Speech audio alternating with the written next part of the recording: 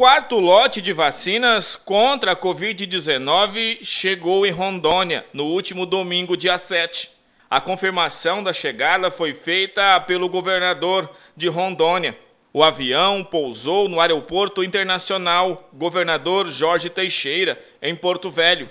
Desta vez, chegaram 36.600 doses da Coronavac, que será destinada aos idosos e profissionais de saúde. Essas vacinas representam o início da cura da pandemia.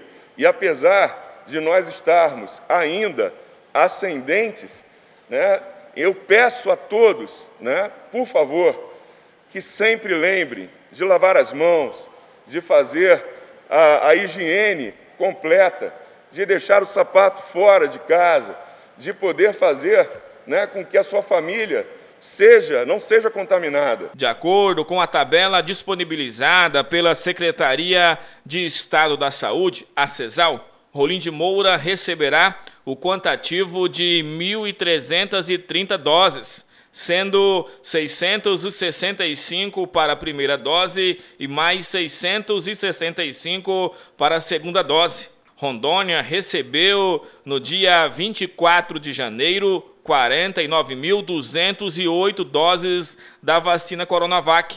No dia 24 de janeiro, AstraZeneca, 13 mil. No dia 25 de janeiro, mais 8.200 doses da Coronavac. Agora, dia 7 de fevereiro, 36.600 doses da Coronavac.